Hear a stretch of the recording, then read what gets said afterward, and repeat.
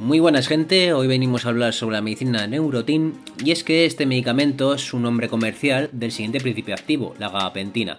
Y para no repetirme, tengo hecho un vídeo de esto mismo, te animo a verlo, te estará apareciendo ahora mismo en pantalla, donde hablo para qué sirve, eh, la dosis, eh, la eficacia, incluso los efectos secundarios. Te animo a verlo, así que cliquea y eso sí, no te vayas de este vídeo sin antes darle un buen like, dejar un comentario y suscribirte. Gracias, nos vemos, chao.